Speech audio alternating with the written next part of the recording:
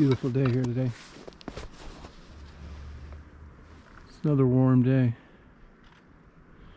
This is going to be great in the next week or two when this ice breaks up and floats around. See, it's all open water out there. You see what I mean? We had this crazy cold for two weeks. And now look, there's tons of open water out there. Now, yesterday, you know, that was the inside of a bay all gray. And the inside of the bay here is like that. But once you get out where the water can make a straight uh, shot without getting, you know, being protected by land, all bets are off.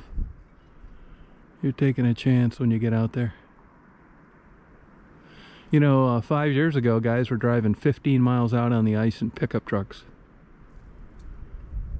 And you can see I'm looking at about a half mile open water. Big ice floes out there. I'd love to go up in an airplane and look around.